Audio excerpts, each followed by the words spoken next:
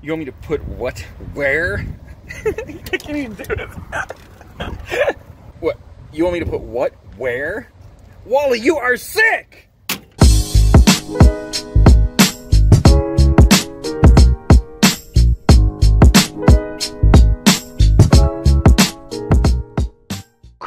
Jarvie and many other Conneaut residents are fighting to keep their Kmart location at Gateway Plaza open.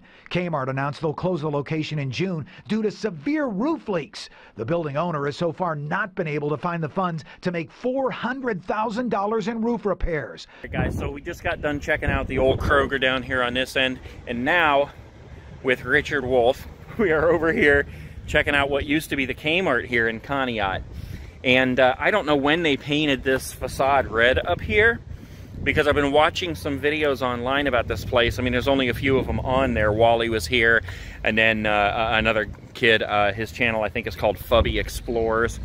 And um, there was videos from five years ago from like Channel 5 News when this place was going to close down, and that facade was white. Residents are hoping the building owner's insurance company will step up its roof repair claim in time to prevent their Kmart from closing its doors forever. To my knowledge, this has been abandoned ever since until it was picked up by this heated storage unit place, whatever it's called. Man, that wind. But at some point, they painted the facade red, and I just, I, I don't get it. Because I don't think anything else was in here right after Kmart, but I could be wrong. Yeah, look at this. They even painted these red they were yellow when it was Kmart. I mean, I wonder if somebody just... I don't know. No scenario really makes sense unless some other business just came and took it over that was using red, but I wasn't aware that anybody ever did. But there's the red facade up there. Used to be a big K. Okay, so this is a storage unit, so I don't want to poke around too much here. Um, let's just try to peek in the window for a minute here hopefully all we'll see is a big empty sales floor. Ah, cool. I mean, yeah, there's a few things in there, but look at that. That's the old Kmart. That's the sales floor, guys. Pretty cool. All right, let's try this selfie stick peek. I don't know if you can see anything in there, but these look like basically the, uh, I mean, the original doors from when it was Kmart. But this garage door they obviously would have had to put in since it closed. Hmm. And just knowing what uh, the North Canton Kmart looks like, uh, Richard and I were just talking about that, like in comparing the size because I think this one may even be smaller than the North Canton Kmart. It's the same style. It's just so small.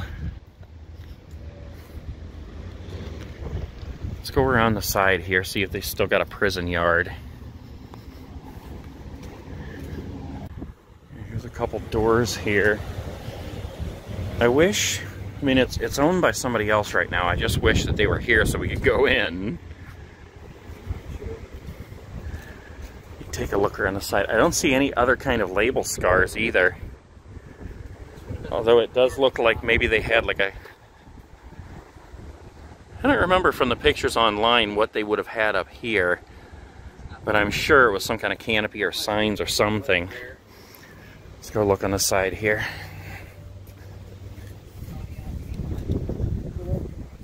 What is it? Take a look at this window. Oh yeah, there's a like a fence, chain link fence in there. Locked up good. I guess, yeah, this would have been, I'm walking in what would have been the prison yard. Here's where they would have cut off the things and taken it down. That's a small one, man. It's like really, usually they come out at least to about here. And you got all that room, but man, what's that? Yeah. Yeah, this is where they would have had the whole the whole fence up. Huh. Ooh, there's a truck back here. I wonder if there's anybody here. It would be so cool to look inside. So we got Richard here. No, I'm just kidding. okay, so This, guys, is what used to be the service center. The, uh, the yeah, Penske Auto Center. And you can still see, like, uh, well, here's steps that go up in there. That door, and I think that door there would go out to the uh, the sales floor. Still got some of the yellow lines for markers for each bay. Yeah. Pretty cool. That was really cool. These guys have a different business back there um, in that garage, but they, you know, let us get a couple shots in there. That was really cool of them. So that's that's their space now, and everything else is leased out to other businesses. So they don't have. This is the old garden center right here. Those doors right there Or at least given lead to the, uh, the sales floor. take a look at what used to be the Penske Center there. We got this one window here we're able to see through. At the garden center around here. So this is the company that's in the back there, Handy Dandy Handyman Service. And they, uh, those are the guys that let us get a shot back in the old uh, auto center there. That was really cool of them. But yeah, here's, you can see, uh, this used to be the garden center. You can see they've got like the, the fence up in here, chain link fence. And just that one window you could look through there. Everything in here is storage now. Okay guys, so we're back around the front here, but look out here, the sign that says heated storage unit, where is it? Am I zooming into it? Yeah, right there. I got a glare on my camera. I'll bet you anything that was the old uh, Kmart sign for this store. Alright guys, well I'm going to break out my fork and we're going over to Burger King to eat. I got to take my buns off my Whoppers. So, I'll see you guys later. Peace.